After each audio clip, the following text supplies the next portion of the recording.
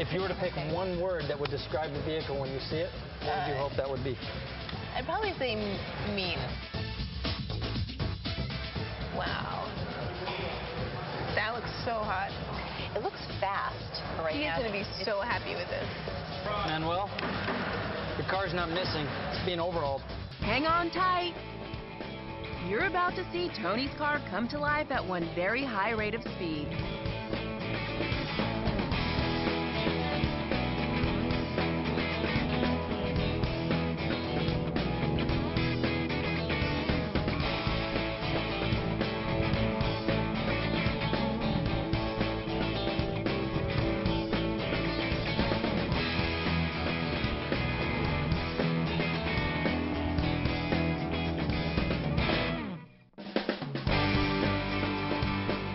So as he finishes this final design, it seems there's a couple things that Chip wants Tony to know.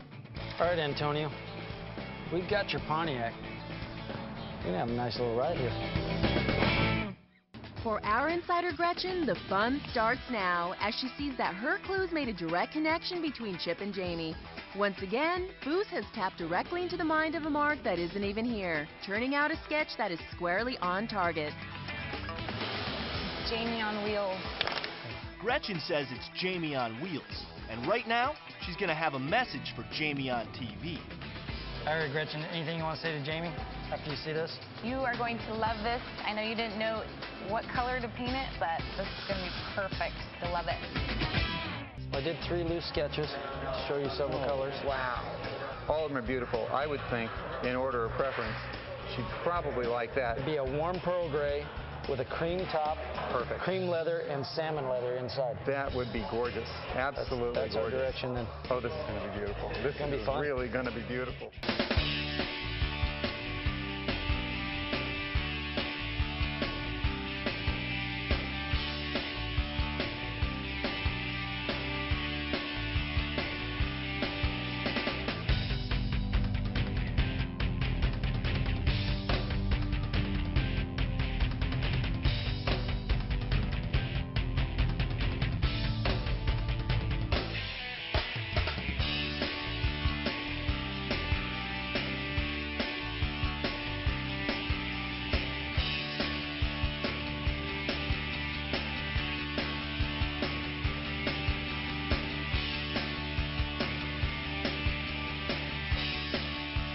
All right, Marilyn.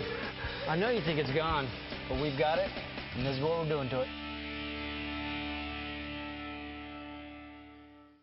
Draw away, my fellow co-host, and while you do, there's one question I want to ask that other car designer who's running around here. How did you prepare? I prepared for designing this 67 Coronet in two ways. One, by going back through all of my old Mopar memorabilia that I have. The second way I did was just mentally, uh, trying to think of all the cool Mopars in the past that I've seen in person, what I really liked. And I came up with this paint scheme based on the picture of a 67 GTX that I think really was the first time I fell in love with Mopar. That must have been one powerful sight because he's still in love with Mopars to this very day. I really understand the importance of having a blueprint, which the rendering provides. It's kind of tough to just see it in your head and then try to build it. And Chip goes beyond rendering. Taking the reins from Chip, design-wise, has been daunting. It's a lot of responsibility. Every decision is on my shoulders on this build, and uh, really want to do Chip proud, and I definitely want to build Jeff's dream car. And he is. Well, there you go, Jeff. There's your Coronet. Chris, nice drawing. Oh, I'm not supposed to say that, am I? So after a warm-up and a quick art lesson, it's time for AJ's rough sketch. eBay. It's available. Okay, so I'm ready to draw. Well, she's ready to make three guides that will present a trio of color schemes to Michelle and Ron. Once the lines are established, it's time for a little lesson in the use of markers, with quick, loose strokes offering the best results when you're putting together a rough sketch. The mint green is an option, along with a couple variations involving red themes.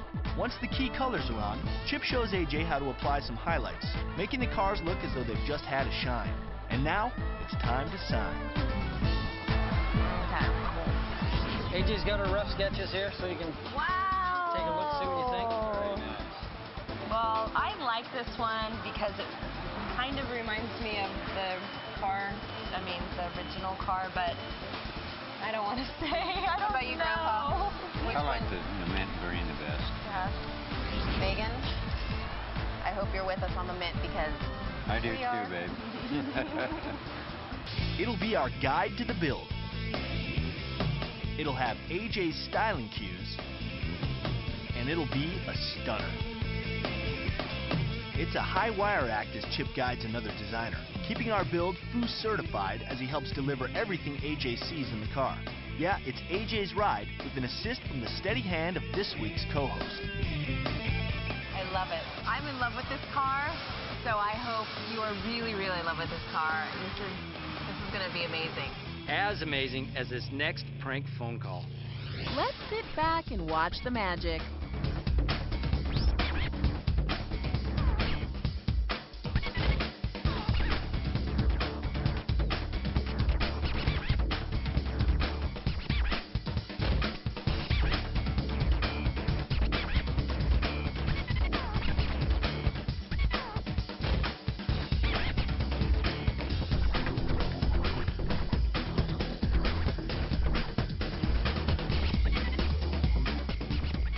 Right, Isaiah, we're not to be mean to you all week.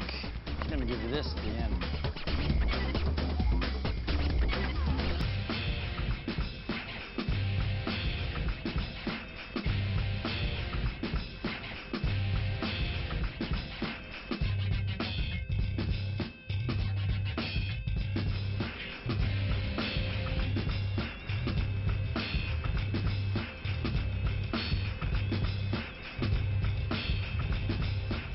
So as the final touches go on, Chip Foose has some wise advice for our Overhaulin' Mark. Well, Melissa, if you learn anything this week, I hope you learn how to park without getting so many parking tickets.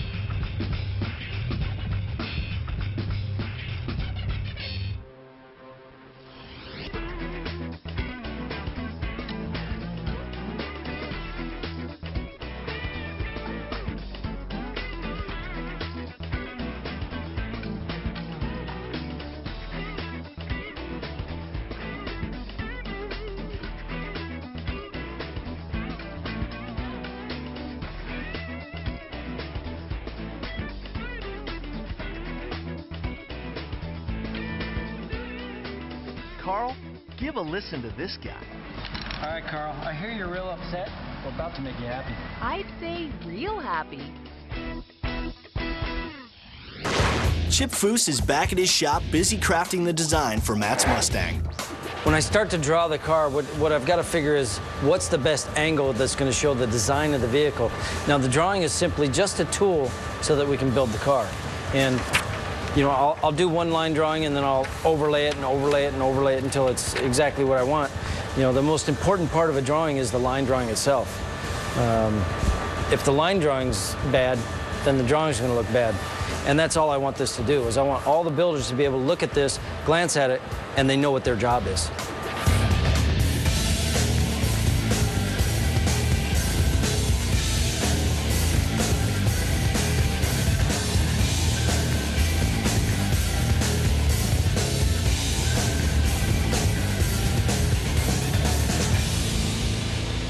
Well, I've got the line drawing, pretty much exactly what I want. Now I can start blocking in some color, and usually I'll start with a light blue because that's a reflective color that if the vehicle was sitting outside, the sky tone, that light blue, is going to reflect into the top surfaces. Your eye is looking at this surface, but it's reflecting what's over here.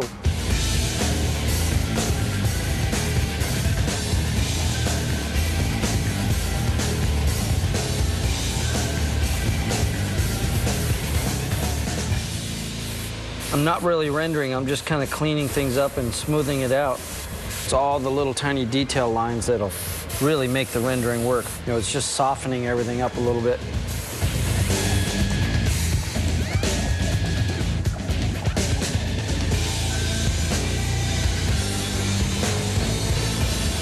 Well, Matt, I know you know we have your coupe, but you have no idea what it's going to look like.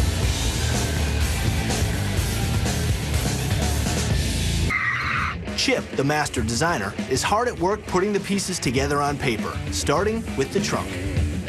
What I'm doing right now is giving a quick sketch to Derek at Certified Sound.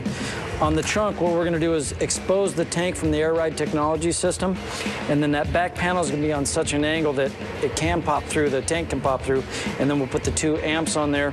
We're gonna put a 10-inch woofer on both sides, and then it's far enough back that through the package tray underneath the back window, that sound can come from the trunk into the interior, and we're gonna put a flat floor in it. We'll be able to lift up this panel to get to any car care details.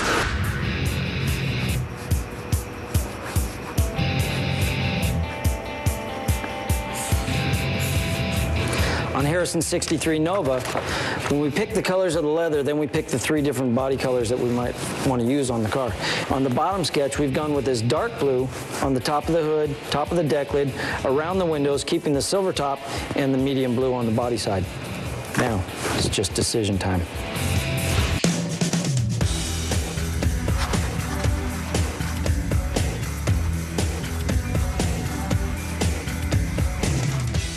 When I start to draw the car, what, what I've got to figure is what's the best angle that's going to show the design of the vehicle. Now, the drawing is simply just a tool so that we can build the car. And one of the tools that we need is this separate little sketch here. And what this tool is going to do is show that there's another color break here. On this sketch, you're just going to see the dark blue coming around the back, but I wanted to indicate that I want to bring that same silver that's on the roof back into this panel. So I'll do that on the sketch. and get over to Mitch's, we'll know what color we're putting where. It's all just indication. You know, I'm not really worrying about making it perfect. It's just throwing it down where I know it's going to be and just blocking it in. The Michelangelos at Lanzini's are going to copy Chip's renderings down to the last detail. Harrison's car will have a three-tone finish with a silver top, Harrison's favorite color dark blue on the front and rear, and a lighter blue on the side panels to give the car length and sleekness. To finish it off, some thin black stripes to separate the colors and make it go faster. Throw some little lines on it and we're going to color this one done. This is one door slammer times two.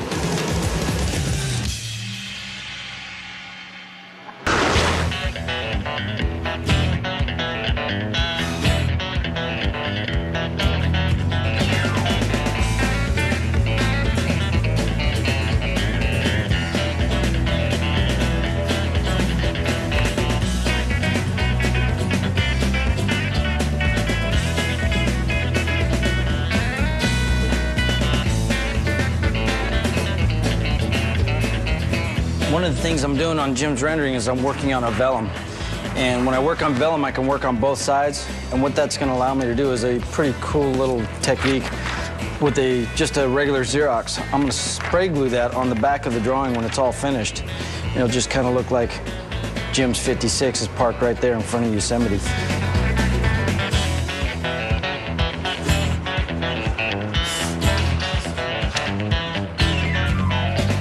And what I'm doing right now is tracing the outline of the car. I'll set this right over top of the drawing itself and cut it out.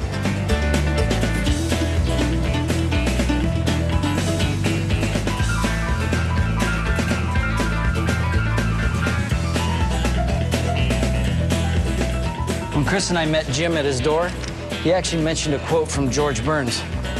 He said, if I were only 18 again.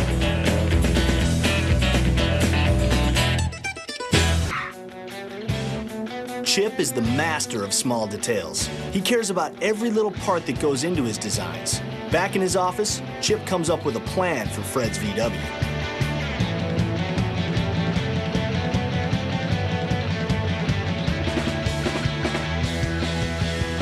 When we did the initial prank with Fred, he said that he had always wanted a red and white bus, but he had only had blue and white buses. So my goal is to give him his dream. And I don't want to do a real bright red. I want to do something that's uh, very subdued because what we're looking for is that classic Volkswagen look.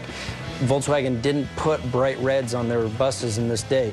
So uh, it's going to be a very subdued, kind of a darker maroon, almost into the brown family on the red.